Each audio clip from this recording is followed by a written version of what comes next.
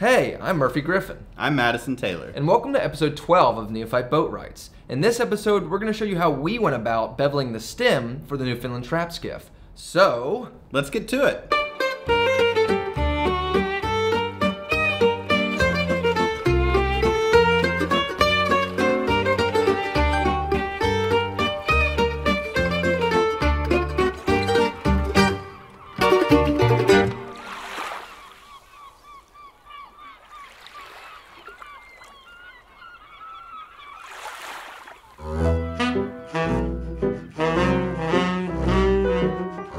So why do we need to bevel the stem, and why devote a whole episode to detailing this process?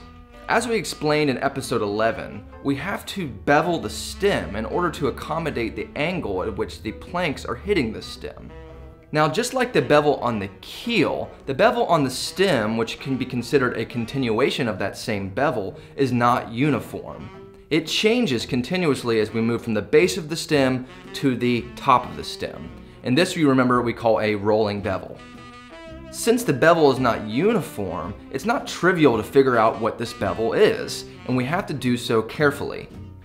Now, a quick caveat this is a technique that we developed ourselves, and it stands to reason that there may be easier ways of doing this. But we came up with a way that didn't require any sort of mathematics or arithmetic, just geometry and our lofting board. So, in this episode, we're going to go over transferring the bearding line to the stem, determining the rolling bevel on the stem, and then carving that bevel.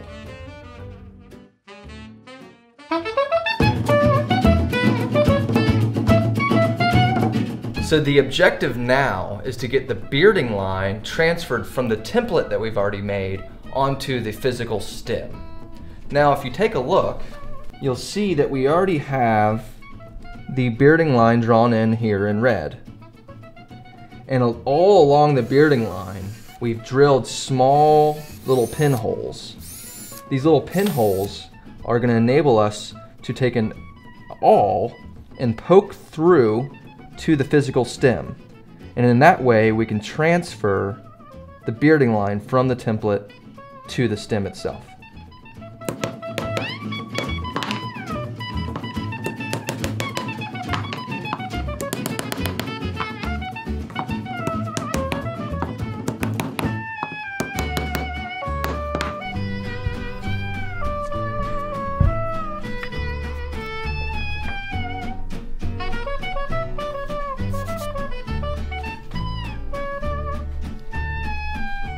So just like with algebra, what we do to one side, we must also do to the other side. This is easily accomplished simply by flipping the template over and using the back side of it to transfer the bearding line. We were able to align it by having the waterline marks on the edge of the template. And so the other side,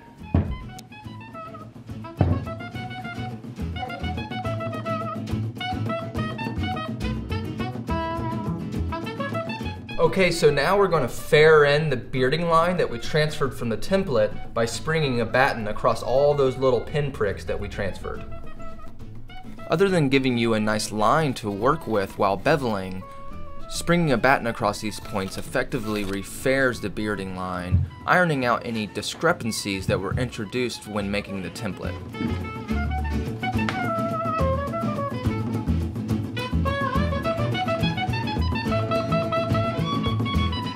This process is then repeated for the other side.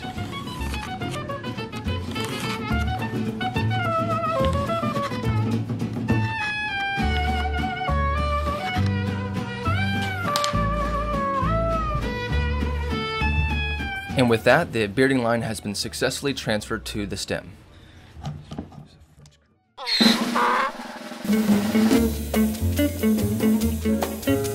With the bearding line faired in, we now need to figure out how deep the bevel needs to be. Now, unfortunately, this is going to change continuously as we move up the stem. So we can't just assume that it's gonna have a fixed depth, it's gonna be a fixed bevel. It's gonna be a rolling bevel. To drive this point home, imagine that we are slicing the stem along water lines. We then are gonna look at the cross-section of the stem at that given water line. We can then repeat this process for a number of water lines and see that the cross-section of the stem is steadily changing shape. So the trick is to visualize how the shape of the stem is changing in a continuous manner. So now imagine that we're scanning along the stem and watching how the bevel is changing as we scan from bottom to top and back again. As you can see, as we move from the top down to the bottom, the bevel is getting more and more steep.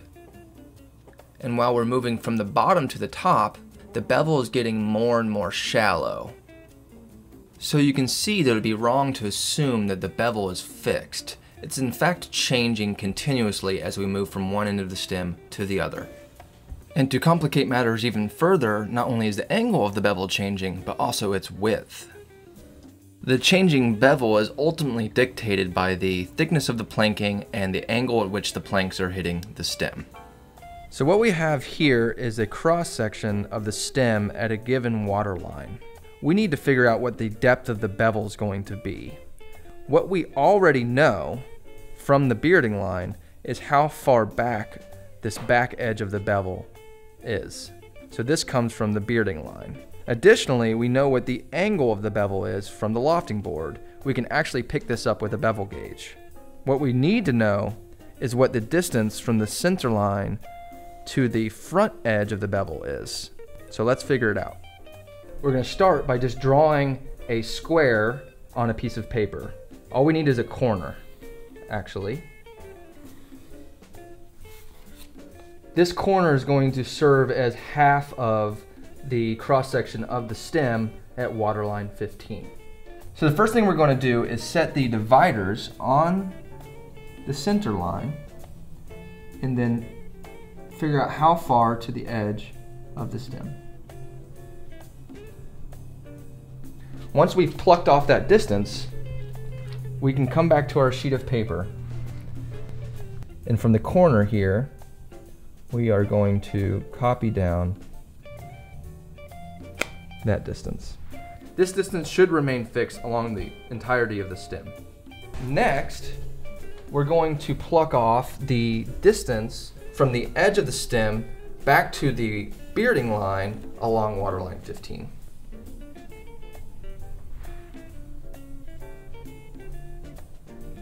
We'll come back to our corner, put the dividers in one corner, and then transfer that distance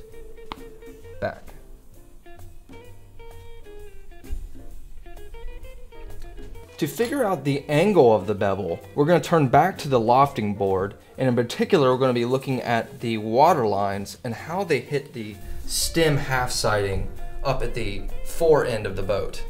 So we'll identify waterline 15, which is this water line right here, and we're going to take a bevel, small bevel, and lining it up with the stem half siding, we can figure out the angle of the bevel.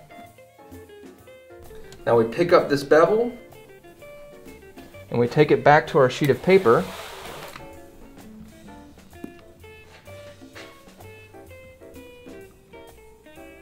As long as the edge of the bevel is lined up with the edge of our little square here, we can trace this angle. So now we know that this portion of the stem that I'm shading in black here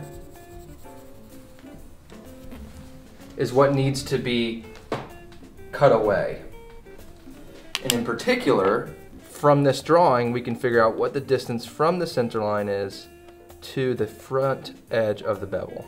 So we'll pick this up from the paper, and on waterline 15, we'll set our dividers and pluck in the distance to the front end of the bevel. So we now repeat this bevel analysis for each given water line, going through all the same steps. Once we've figured out all these points on the front edge of the bevel, we'll be able to fair them in and get a reference line.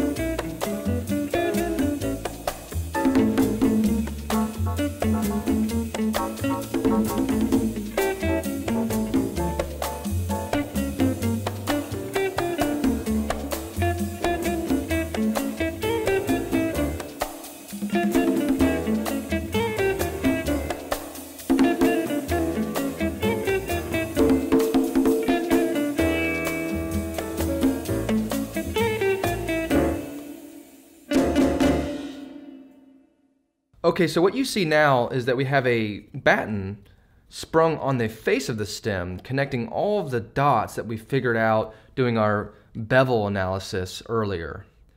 This will fair in all those points so that we have a nice clean curve.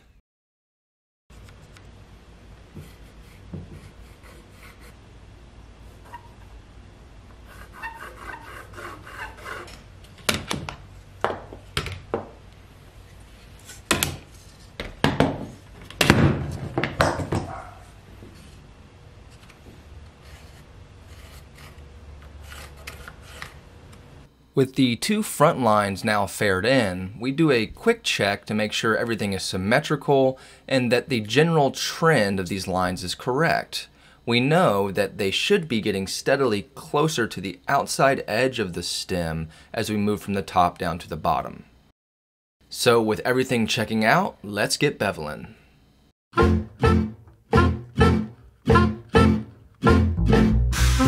So now we're going to carve the bevel into the two sides of the stem.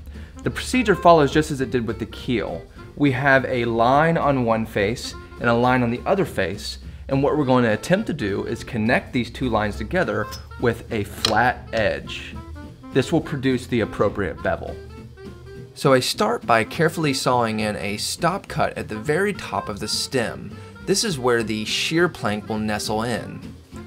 You can see that I got a little overzealous and started shaping the bevel before making this stop cut, and that's why that corner at the top of the stem is missing. Fortunately enough, we're going to be adding a cutwater to the front of the stem that should cover up this unfortunate mistake. So three tools proved invaluable in shaping the bevel. One is the 4 inch slick you see here, which is great for detail work. The second was a compass plane. The sole of a compass plane's shape can be changed to fit the curvature of the stem, and so is really useful. And finally I used a block plane to clean up and flatten the bevel. The small size of the block plane really worked great with the gentle curve of the stem. So all took were these three tools.